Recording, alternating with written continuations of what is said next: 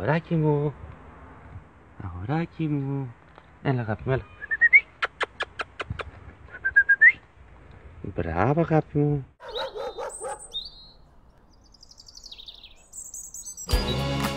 I have to give up everything. The people, they think that I'm crazy.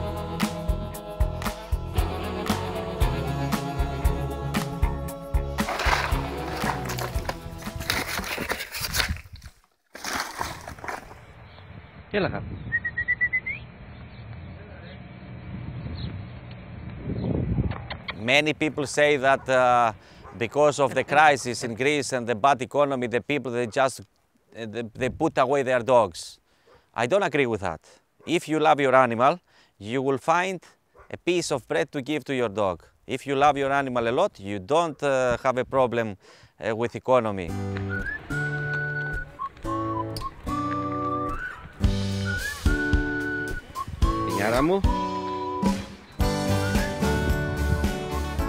My name is Takis Proestakis. It's very hard what I do. I'm getting very tired, but it's the first time in my life that I get so tired and I enjoy it. I like it. There is no personal life for me. There's no personal life.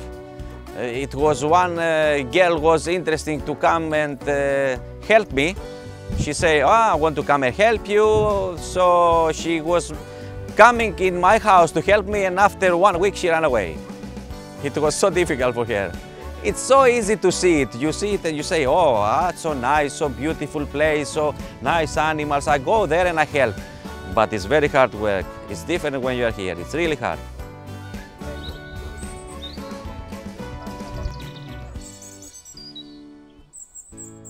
Before I opened the shelter, I was uh, in the nightlife. I had a nightclub and I was in the nightlife about 20 years. Uh, at first, I started as a DJ when I was 17 years old. I was in the nightclub as a disc jockey. And after I have my own nightclub, I used to have big motorbikes. I was going out having fun every night. I was drinking uh, a lot. And uh, I was uh, a nightlife boy. After 20 years I was in the nightlife, I get very, very tired of this, this kind of life. So I was going away, I sell my nightclub, I get the money, and one uh, day I go in the place where they put the rubbish of my town. I go to see where they put all the rubbish, this, this area, and there I see a lot of stray dogs in a very bad condition. One dog was with a broken leg, another one dog with, was uh, with a big uh, problem in, the, in his skin. So I start to take care of these two animals. After I noticed that in this area it was about 50 animals, so I take care of all of them. And I make them uh, strong and uh, for one year I was going in the place where they put the rabbits to take care of the poor dogs that was there. These dogs they get very strong after the care I give to them. So some people who they was there, they say to me, the dogs are making a problem and we will poison them. That's what they say to me. So I said to them, please give me 30 days to take the dogs away from the rubbish in my own place. So I give all my money to fix the shelter. And I, I take the dogs away from the rubbish and the dogs are safe in the shelter. But the shelter is big and uh, the animals in my town are many and a lot of them they are so poor in the big problems.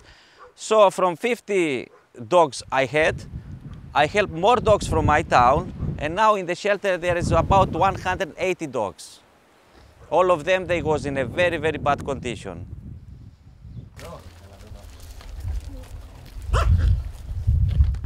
There is dogs that I take from the streets, from a car accident.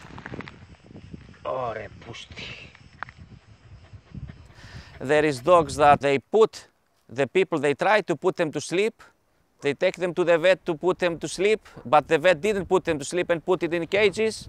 And they was in that cages in the dark without go out at all for about six months or some other dogs they was for one year or two years in a cage without go out at all. So when I find out ab- about this, I go there and I take all the dogs out. It was about 30 dogs.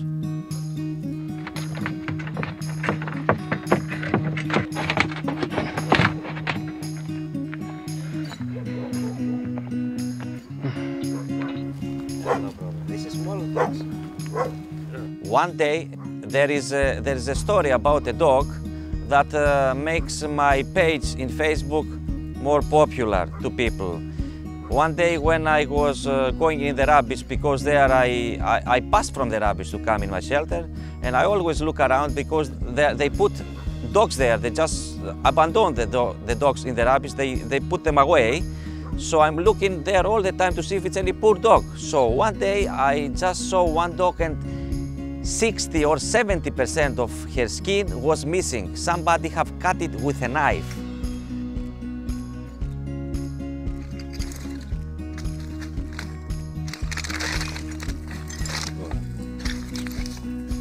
I catch the dog, it was still alive. Four vets they saw this dog and all of them, all these vets, they agree that it was from somebody, from a, from a human. Somebody did that to the dog. And the police also agree with that. The police tried to find out if somebody did, who did this, but no, it was not, not any luck in that. I noticed that this dog, they, he, she wanted to leave. She was a puppy, about uh, five months old. The dog was strong and she wanted to leave, so I didn't, I didn't put her to sleep. Some people, they say to me, hey, you are doing a criminal by keeping this dog alive. And I said, but the dog uh, looks strong and she want to live. And now the dog is very healthy and uh, she's very strong and she's running free and happy in my shelter. Baby, hop. Hop, αγάπη μου. Hop. Κορίτσι μου. Another poor dog that I have helped it was, uh, one day they called me from the police. They say to me, can you come with us because uh, somebody shoot a dog? And the dog is uh, in a bad condition outside of a house. So I go there with the police and one vet and uh, we saw one dog who was hiding in a dog house of one family. Uh, somebody have shoot the dog and half of his face was missing. So we take this dog, we take it to the vet. We didn't put, here, we, we didn't put him to sleep and uh, we make six operations to his face. He cannot see from the one eye, but uh, we fix his face and now he's, he's doing very good and he's very strong in my shelter also.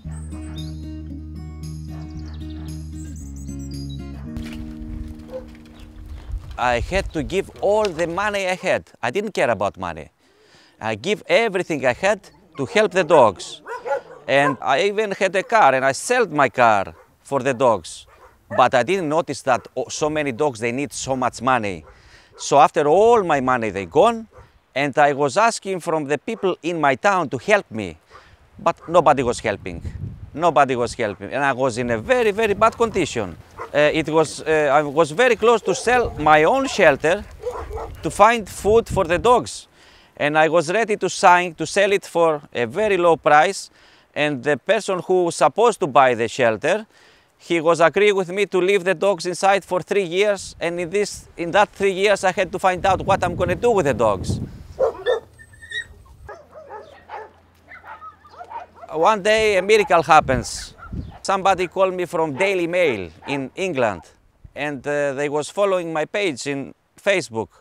I was driving a little scooter to come in the mountain when I saw the car. So they, they follow my page in Facebook and they, they knew my story and uh, they make an interview. They was asking me a few things from the, they called me and they asked me a few things.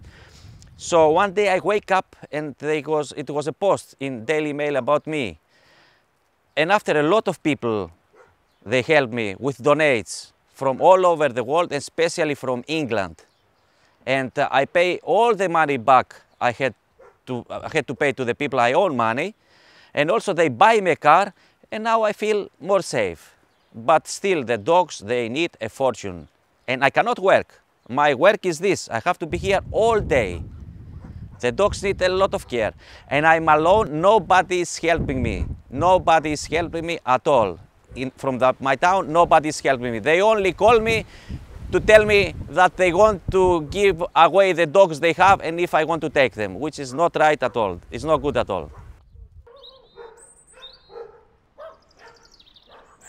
The good thing for my shelter is that, the, that it's away from the town. And also the road is very bad to come here. So it's not easy for the people to come here and put the dogs up outside from my shelter. Uh, in the four years I have the shelter, uh, three times it happens and people they leave dogs outside of my shelter. One time, one day they just let outside of my shelter one German Shepherd with five puppies. It was so sad when I just see this, this in my eyes. I was, it was, it was so sad for me to see. They, all of them, they have found a family. So this is very good. The most important thing for, for my shelter is the food. Uh, so many dogs, they need a lot of, uh, a lot of food. So it's, uh, it's the big problem for me. I have to find out the money for the food. And also the dogs, they have to be natured. So they will not make puppies. 90% of my dogs, they are natured already. So this is very good for me. But also I have a lot of puppies who they just put away everywhere in my town and I help as much as I can. So these puppies, they will grow up after five months and they will also need to go to the vet to be natured. So the big problem is the food and the dogs to be natured.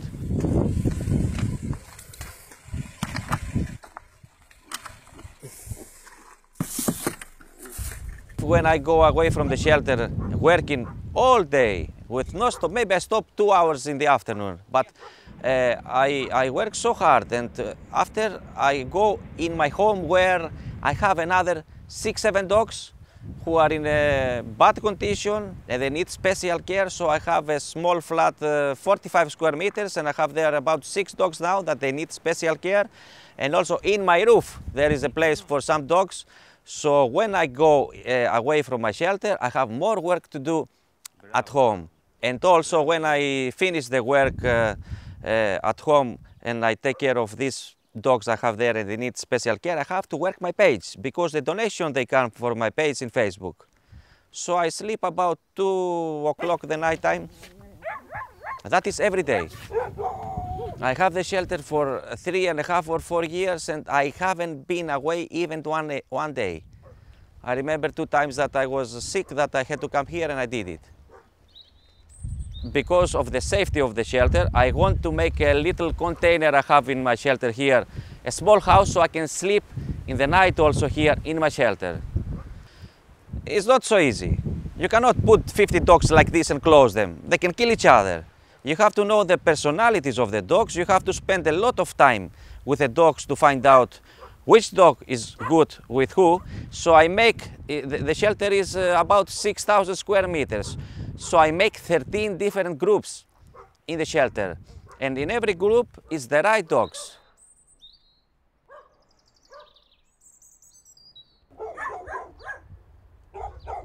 I see a lot of funny things here and uh, it's many, many time, days that I, I'm laughing with what I see of the dogs. They are running up and down, they play like crazy all the time. I want my shelter to be a natural shelter, not with, uh, there is not any cages or chains in the shelter. There is a lot of shelters all over the world who are in a big, uh, who have a, a, cage for every dog. Here all the dogs are free and this is how I want it to be. And also there, I have put, uh, in, when I buy the shelter it was uh, 70 olive trees in the shelter and also some almond trees, different trees. But I also uh, put put uh, about 150 more trees. So I want to have a natural shelter for the dogs to live free and have a normal life.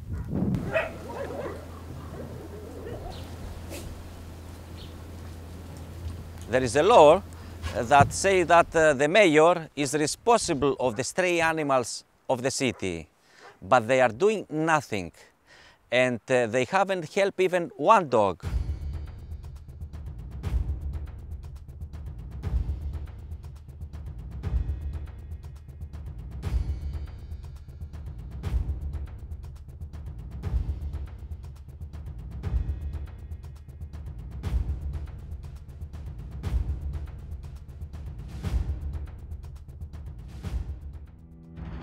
People, they think that I'm crazy when I do this, and they cannot understand why I do it.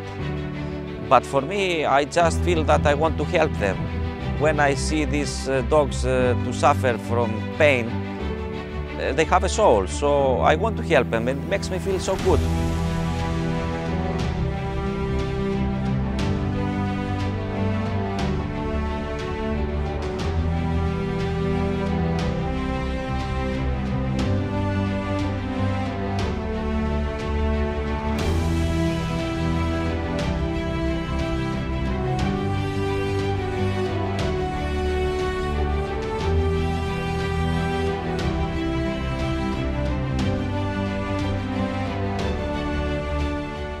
You can see my daily work if you join the page I have in Facebook. The name of the page is uh, Takis Shelter, not non-profit organization.